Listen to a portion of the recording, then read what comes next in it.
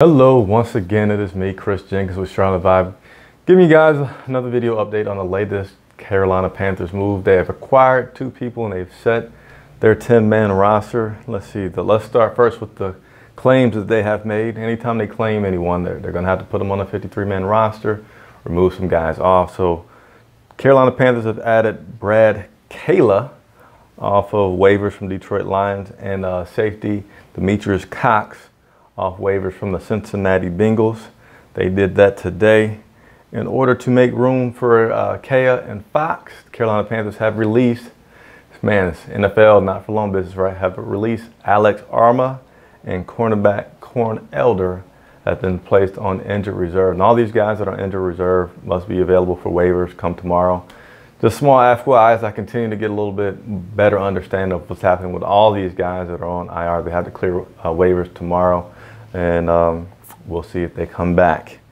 So let's go down the 10 guys that the Carolina Panthers have signed to the practice squad.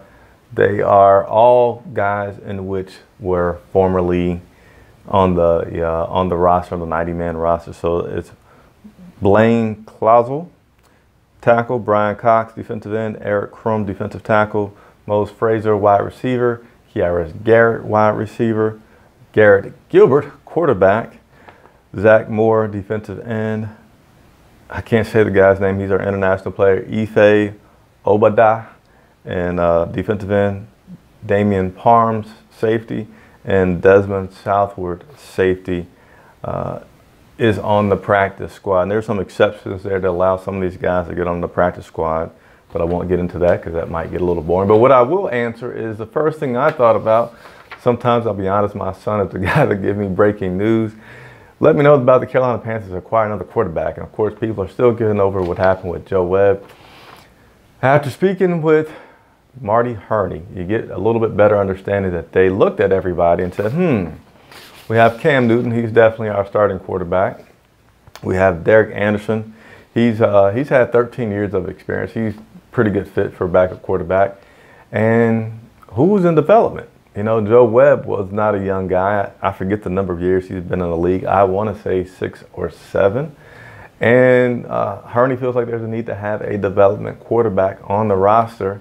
So therefore, the new pickup, uh, Kaya, is going to be that development quarterback. So that's really sounds like why Joe didn't make the cut. Is that man? We got to we got to have somebody in development. Hurney feels like having that next quarterback in development is important. So he's there.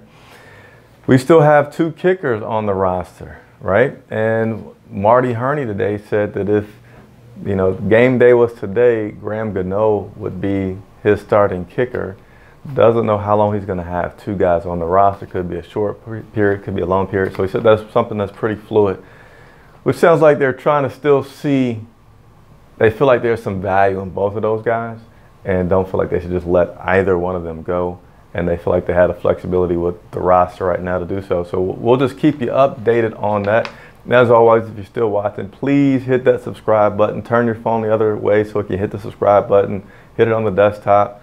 Appreciate it. Leave your comments below. Also, you can hit me up on Twitter at Charlotte Vibe. And thank you guys for watching. It's Chris Jenkins.